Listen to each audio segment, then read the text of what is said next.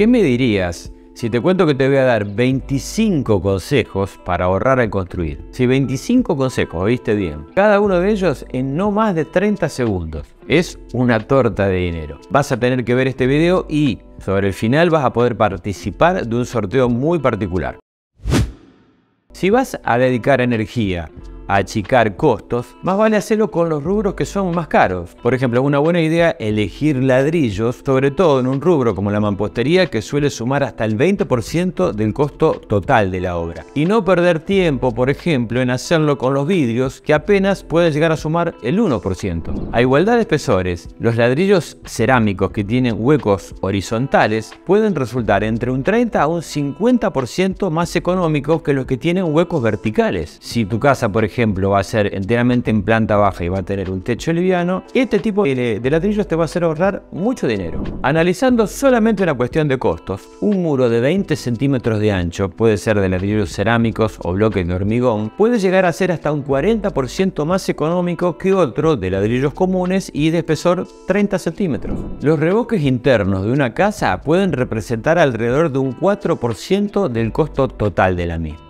¿Y qué pasa si no lo haces en todas las paredes? En un ambiente, por ejemplo, se pueden dejar una o dos paredes sin cobertura, o sea, sin revoque, para lograr de esa forma una apariencia más rústica y así ahorrar también mucho dinero.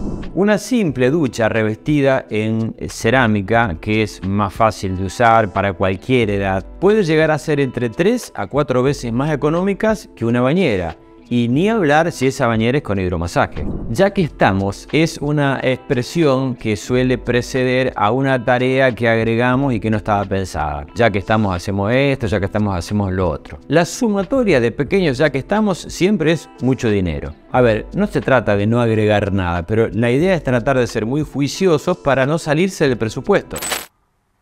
¿Cuántos van ya? Seis seguimos adelante, vamos. No es absolutamente necesario revestir todas las paredes de un baño, donde sí te sugeriría hacerlo en la zona de la ducha, pero el resto puede revestirse, por ejemplo, hasta el metro de altura y de allí para arriba terminarlo con una pintura lavable. Para un baño tipo, esto puede llegar a ahorrarte hasta 10 metros cuadrados de revestimiento. Techar una casa de esta forma, es decir, a doble pendiente a dos aguas, es mucho más costoso que hacerlo de esta manera, con una pendiente suave. En el primer caso vas a estar utilizando mucha más cantidad de superficie de techo y además de ello vas a tener que construir en paredes los triángulos que hacen de cierre. Con pendientes más bajas vas a tener una reducción de costos muy importante. En el mercado suelen ofrecerse remesas de cerámicos que se han discontinuado de fabricación o que tienen ligeras imperfecciones que se llaman cerámicos de segunda selección, pero estas no llegan a alterar la calidad de colocación. Seguramente van a ser mucho más económicas, van a estar en oferta y puede ser una excelente opción, por ejemplo, para revestir un baño secundario. Si tu casa va a tener un techo liviano que no va a quedar a la vista, no vale la pena que utilices para ellos chapas de color. Las chapas color suelen ser hasta un 50% más caras que las comunes y en definitiva duran exactamente lo mismo. Independientemente del estilo que te guste, una casa de diseño simple va a ser mucho más fácil de construir y terriblemente más económica. Si la comparamos, por ejemplo, con otros diseños que tienen detalles constructivos complicados o demasiado vistosos, que a lo mejor pueden resultar ser más agradables, pero que encarecen enormemente el metro cuadrado de construcción. Si te gustan las texturas eh, rústicas, por ejemplo, una muy buena opción sería terminar las paredes con revoque salpicado planchado, hecho en base a cemento y arena y terminado luego con látex de color. Esto resulta mucho más económico que una comparación, por ejemplo, con el revestimiento plástico. Los accesorios de cerámica enlosada, me refiero a jaboneras, portarrollos, pueden llegar a ser entre 5 a 10 veces más económicos que los que tienen insertos metálicos, y esto no afecta ni a la durabilidad ni a la resistencia de los mismos desde un punto de vista, un argumento más positivo, si se quiere, son los que mejor se llevan con el color de los sanitarios. Fíjate en esto. Se trata de una descripción rubro por rubro de todas las tareas que están incluidas dentro del presupuesto, con la explicación de cómo se hacen. Esto te puedo asegurar que es la gran diferencia entre tener discusiones o tener disputas respecto a lo que estaba o no estaba incluido en el presupuesto desde el vamos. No hay que dejar lugar a falsas interpretaciones. En este sentido, nada mejor que lo escrito, porque en definitiva las palabras se las lleva el viento. Un piso de alisado de cemento puede llegar a ser una excelente alternativa para poder habilitar la obra. Yo sé, no es el piso ideal, pero si tu presupuesto no te lo permite, es una opción muy interesante que te va a servir de base para colocar el día de mañana el piso que decidas elegir. Los postigos o las cortinas de enrollar pueden resultar hasta 3 a 4 veces más caras que la propia abertura, donde sí deberías colocarlas creo que en los dormitorios para tener un mejor ocultamiento de la claridad, pero en el resto de la casa te las podrías ahorrar y colocar en estos casos rejas que son mucho más seguras y mucho más baratas. Entre el costo de materiales y mano de obra, cada boca de electricidad puede representar entre 40 a 50 dólares, aunque muchos piensen que eh, más vale que sobren. Creo que vale la pena pensar cuáles realmente vamos a utilizar para no gastar de más.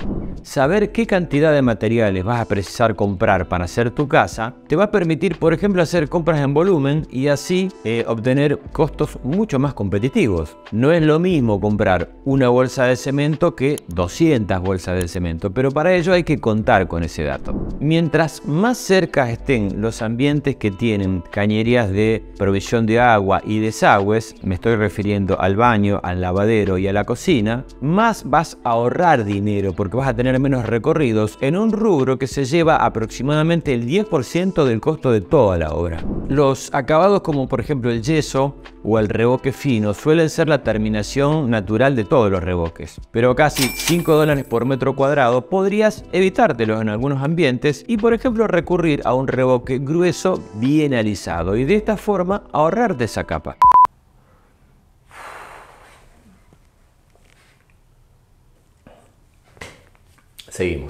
El granito o el mármol para mesadas o encimeras de cocina suelen ser materiales muy caros y ni hablar de los mármoles sintéticos. Una opción más potable, por ejemplo, sería revestir la mesada con porcelanatos o cerámicos de gran tamaño, que resulta una opción hasta 10 veces más barata que cualquiera de los materiales que te he mencionado. El cielo raso de PVC resulta más económico que las opciones en yeso y además de ello no precisan ser pintados. Es decir, tenés un primer ahorro económico importante y que se va prolongando en el tiempo al no precisar de mantenimiento de pintura.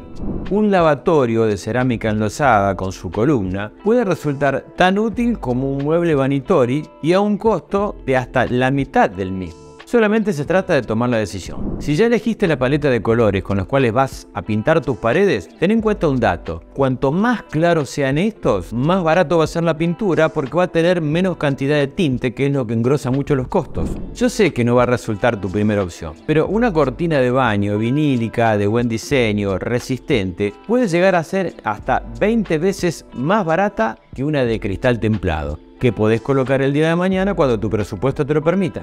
Habrás eh, oído hablar eso de que de a gotas se llena el vaso. Bueno, cada uno de estos 25 consejos fueron gotas, más grandes, más chicas, que habrán contribuido a achicar enormemente tus costos y a reducir el presupuesto. Y esto es muy importante, sin achicar superficies y sin resignar calidad de vida. Es probable que tengas que volver a ver este video porque habrá cosas que se te pasaron. Y te digo algo, si un tema te interesó particularmente, en la del video y en el primer comentario te voy a dejar el link de acceso al video que lo trata más en profundidad. Y te había prometido un sorteo. Para participar del mismo vas a tener que dejarnos tus comentarios, lo que quieras, o quizás por ejemplo comentándonos algo que te haya resultado muy efectivo para achicar los costos. Luego de tres semanas, aquel que tenga más me gusta va a poder participar de una hora de consulta online con este tipo para despejar todas tus dudas. No dejes de ver este video y suscribirte al canal porque se vienen temas más que interesantes. Chao y nos vemos pronto.